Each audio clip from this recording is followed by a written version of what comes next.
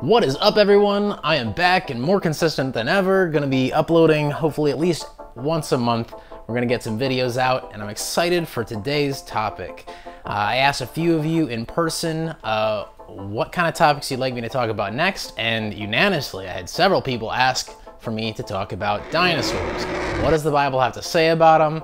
How do they come to be? And being quite honest, that's a little bit of a challenging topic. And it's not challenging because it's hard to come to a conclusion or it's hard to find references to dinosaurs in the Bible.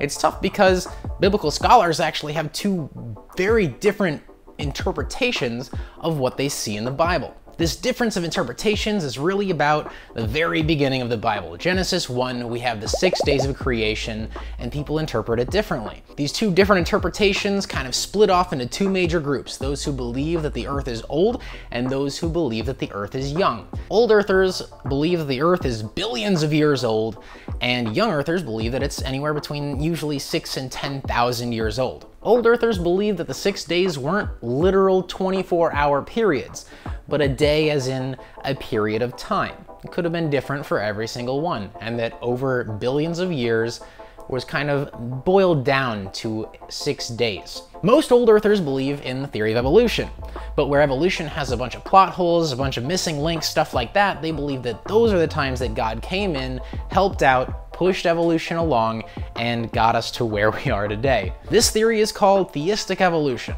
So if you ask someone who believes in an old Earth, that believes in theistic evolution, their answer to how dinosaurs kind of came and went will be the same as an evolutionist, pretty much, is that millions of years ago they rose up and died off, and they've been dead for a very long time.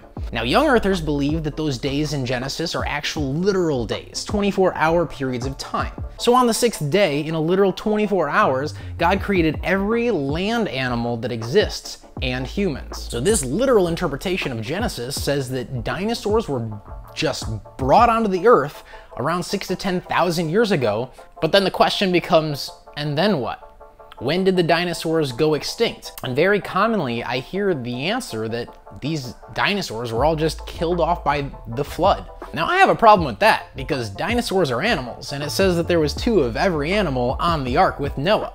So I believe that dinosaurs were all on the ark with Noah. So while the flood did contribute a lot to killing off every single animal and person that wasn't on the ark, uh, other than sea creatures, uh, it does not explain the thorough extinction of dinosaurs. So what we would have is dinosaurs climbing off the ark and then going extinct afterwards. So now the question has to be asked, is there any evidence for that? Is there anywhere in the Bible that shows that there was dinosaurs on the earth? Any reference? And this is a little tougher to answer because of course they wouldn't call it a T-Rex. They wouldn't call it, you know, whatever we call it. We came up with these names looking at skeletons, not looking at the actual creature. So the names that they're gonna call these creatures back then are going to be different. But we can look at the description of certain creatures and we can say, hmm, that sounds like a dinosaur, and we do have that. In the book of Job, we have two creatures described to us that sound like no animal currently living on Earth, and they do sound like ginormous reptilian creatures. But before we get into the creatures themselves, I want to give a little backstory on Job. Job was a very rich man who lived on the earth shortly after the flood. He had lots and lots of wealth, lots of animals, lots of everything, and he was a servant of God. But God was asked the question, what if Job only serves you because of the good things that he has? You've blessed Job, and because of the blessings, he worships you. Now, would he still worship you if he wasn't rich?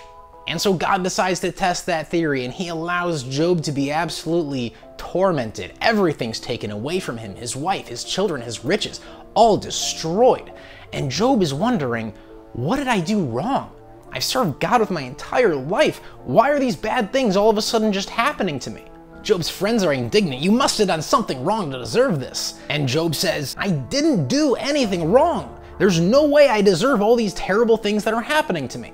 And then God comes and talks to Job himself. When God talks to Job, he drives home this point of, who are you to think that you deserved any of this stuff in the first place?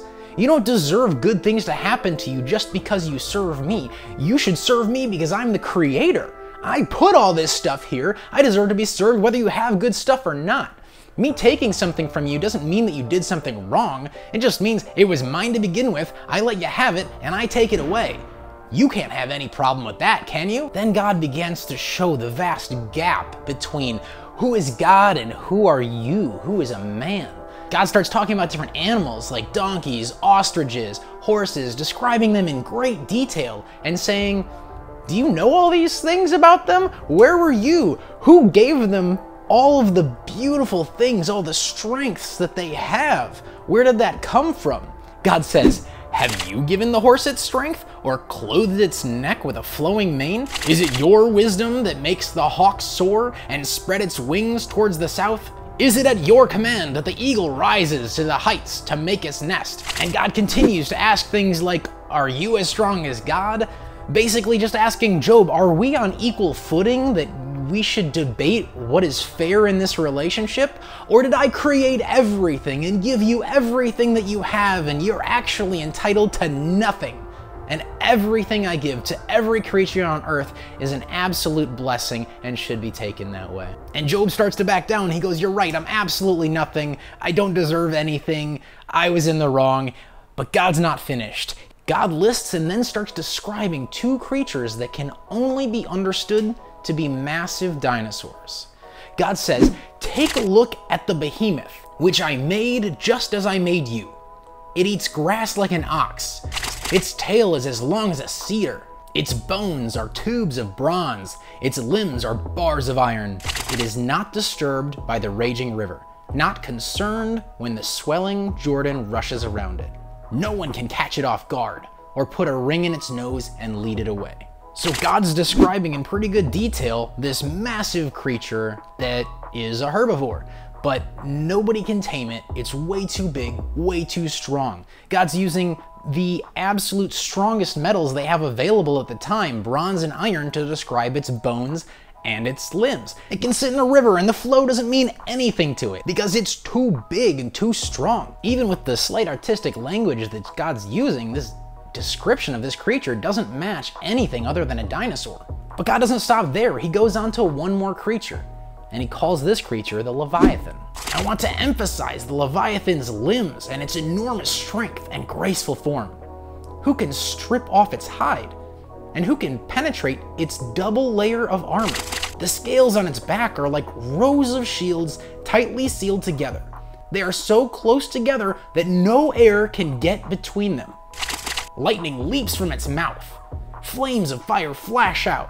Smoke steams from its nostrils like the steam from a pot heated over burning rushes. Its breath would kindle coals, for hot flames shoot from its mouth. No sword can stop it, no spear, dart, or javelin.